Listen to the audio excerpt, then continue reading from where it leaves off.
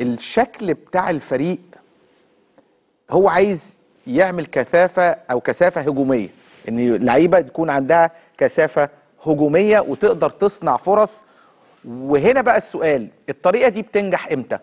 الطريقة دي بتنجح إما يكون المجموعة اللي بتلعب قدام دول مستوى البدني عالي جدا وكمية الضغط على الخصم عالية جدا. يعني تلاقي شيكابالا كل كورة تخ تخ تخ بيجري وبتاع وبيضغط على اللعيب اللي بيستلم الكورة.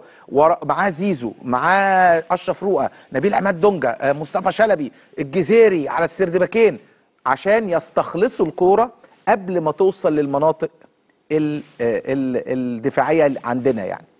لكن للأسف إحنا عندنا اللعيبة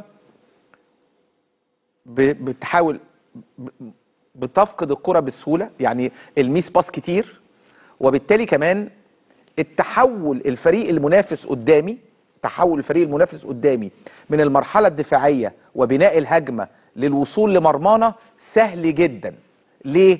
لأن الالتزام بالنواحي الدفاعية من قبل اللعيبة اللي بتلعب في المنطقة الأمامية ضعيف.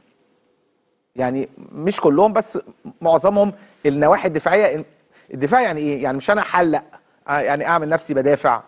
وواحد تك تك يضربني وأروح آه، ده اللي بيحصل من فريق الداخلية ودي مش كمان مش فريق الداخلية بقى فقط. النهارده ما ينفعش لدرجة إن محمد صبحي اتجنن في الشوط الأولاني قعد يزعق وكده. ليه؟ لأن محمد صبحي شايف إن الكرة بتجيله بسهولة قوي وإن فريق الداخلية بيوصل للمرمى بسهولة قوي لمرمى نادي الزمالك. وبناء الهجمة عندهم سهل جدا والتحول من الدفاع للهجوم والوصول لمرمانا سهل جدا. بل كمان إن نادي الزمالك عنده مساحات ما بين المنطقة الدفاعية والمنطقة الهجومية.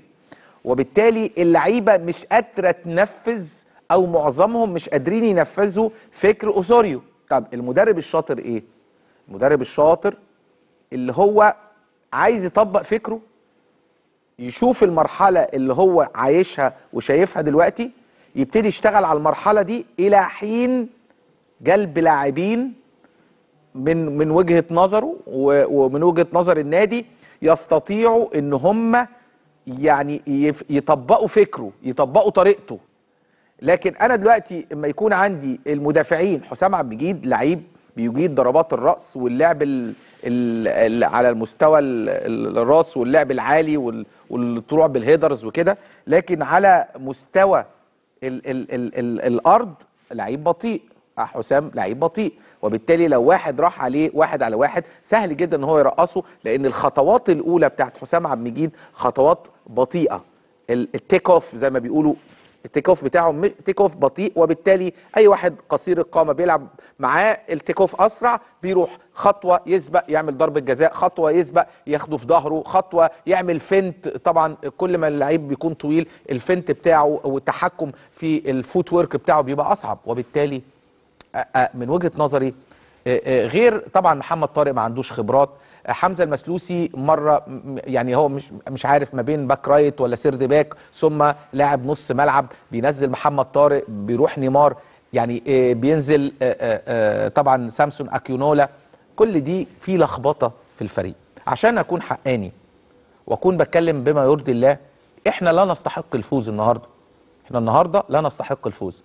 النهارده الداخلية أضاعت أكثر من فرصة.